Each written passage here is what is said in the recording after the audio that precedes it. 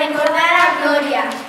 Gloria Fuertes que escribía besos, besos para dibujar, para dibujar niños que podrás imaginar. ¿Cómo se dibuja un niño?